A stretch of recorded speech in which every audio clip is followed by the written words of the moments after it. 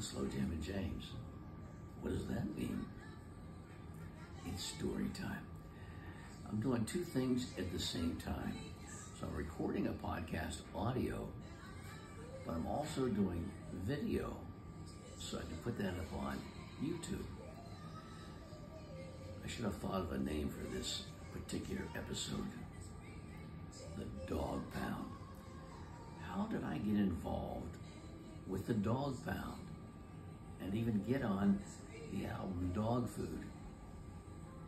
Let me tell you the story. Not too long after I met Snoop, he had invited me over to Death Row Records, which is really Can-Am Studios in Tarzana, California.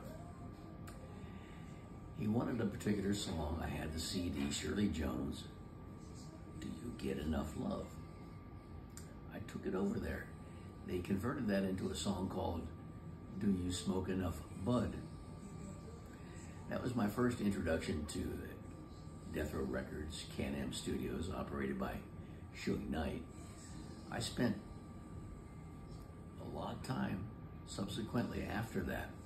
I got a chance to meet Tupac. You name anybody in the West Coast rap arena, they were there. Dre, of course, Snoop, everybody. I go over and do different skits. Then one day, they were recording The Dogg Pound, Daz and Kurupt.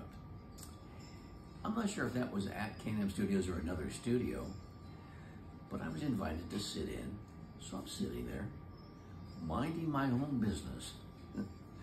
There's a lot of smoke, very loud music, and dogs. Perfect scenario. I'm just sitting there. And Snoop says, KJ. I go, yeah. He said, uh, why don't you drop on the end of this song? I said, okay. What song? He said, the one playing. I said, what's playing? He said, it's called Smooth. He started to get irritated with me because I was asking so many questions. He said, do you mind stepping up to the mic and saying something? So I went up there and I stood there and I said, say what? Once again, he's getting more agitated. He says, you're a DJ, say something. Well, that kind of scared me. so, first thing that came to my mind was, hi, I'm Kevin Slow James from 92.3 The Beat. And this shit sounds smooth. Get me an application. I'm switching up. I want to work for W Balls. He said, okay. I said, okay, what? He said, you're done. That was it. So I stayed for the remainder of the, the session. Maybe two, two and a half months later, I walked to the station. Well, I didn't walk, but I went to the station, 92.3 The Beat.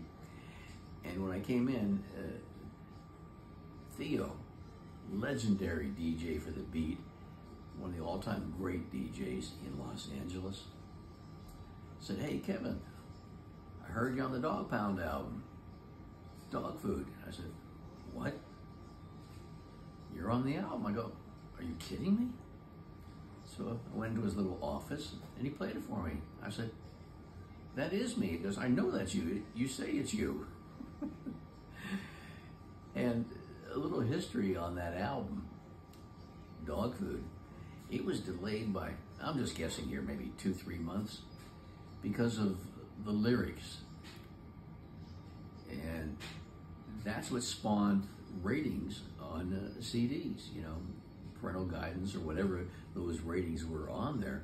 But that was the album that put that motion into gear to label CDs, cassettes, whatever the case might be back then.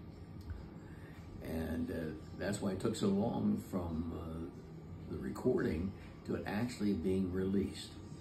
So it did get released.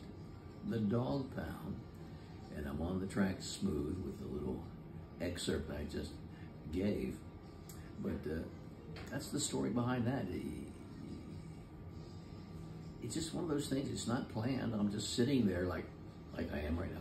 Oh, mm-hmm. And then when Snoop said something, I went, you know, because there's like a, like a million people in the studio, and that's what happened. That's how I ended up on the dog pound dog food.